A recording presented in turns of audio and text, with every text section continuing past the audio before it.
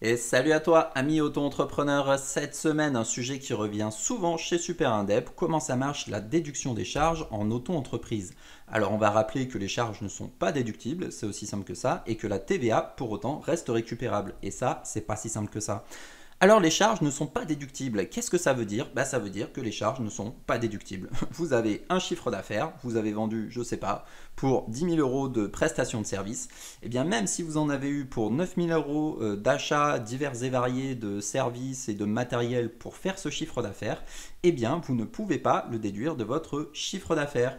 Et si vous ne comprenez pas pourquoi et que vous trouvez ça injuste, eh bien il faut bien comprendre qu'en vérité, c'est grâce à ça que le régime de l'auto-entreprise existe. Justement, au lieu de vous demander vos dépenses, c'est-à-dire euh, en fait au lieu de vous demander un bilan et des liasses fiscales, c'est-à-dire au lieu de vous forcer en fait à passer par un comptable et un cabinet comptable qui en général va faire ce travail pour vous parce qu'il y a peu de gens qui ont envie de faire leur bilan et leur liasse fiscale tout seul, eh bien vous avez la possibilité de simplement déclarer votre chiffre d'affaires. Alors, le gros avantage, c'est que c'est beaucoup plus simple. L'inconvénient, bah, c'est que vous ne pouvez pas déduire vos charges au réel. Mais, et on l'a vu dans une vidéo précédente, le gros avantage, c'est que du coup, si vous avez très peu de frais, bah, finalement, eux, ils vont quand même considérer que vous avez des frais qui sont sans doute plus importants que vos frais réels. Et ça, du coup, c'est extrêmement intéressant pour vous.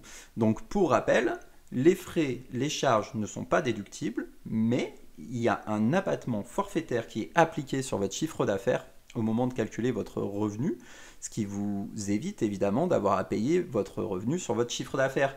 Si vous déclarez 50 000 euros de CA sur votre déclaration de revenus, il est évident que l'État se doute qu'il n'y a pas 50 000 euros dans votre poche, ne serait-ce que parce que vous avez payé l'URSSAF sur ces 50 000 euros. Donc, c'est la raison pour laquelle les charges ne sont pas déductibles. C'est à la fois la force et l'inconvénient de la micro-entreprise. Par contre, truc de fou, vous pouvez quand même récupérer la TVA. Parce que souvent, les deux sujets, on se dit, bah du coup, comme je ne peux pas euh, déduire les charges, bah du coup, je déduis rien du tout. Non, quand vous êtes en auto-entreprise et quand vous êtes soumis à la TVA, et oui, ça peut être hyper intéressant et important de passer à la TVA très rapidement, notamment quand vous êtes en B2B, ça vous évite de vous prendre la tête et ça ne coûte rien à vos clients parce qu'ils peuvent eux-mêmes déduire la TVA de leurs frais. Donc, toute entreprise qui est à la TVA, y compris les auto-entrepreneurs bien évidemment, peuvent récupérer la TVA sur leurs dépenses. Donc vous n'allez pas pouvoir déduire vos dépenses de votre CA, mais vous allez pouvoir récupérer la TVA sur vos dépenses pro.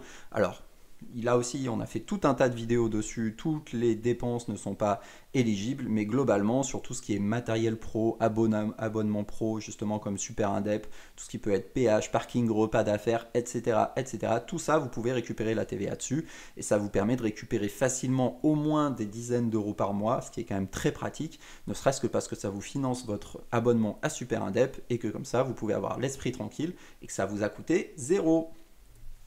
Voilà ce que je voulais vous dire cette semaine sur euh, la gestion des charges quand on est auto-entrepreneur. Comme d'habitude, si la vidéo vous a été utile, vous nous laissez un pouce, comme ça ce sera utile à tout un tas d'autres gens. Et moi, je vous dis merci beaucoup et à la semaine prochaine.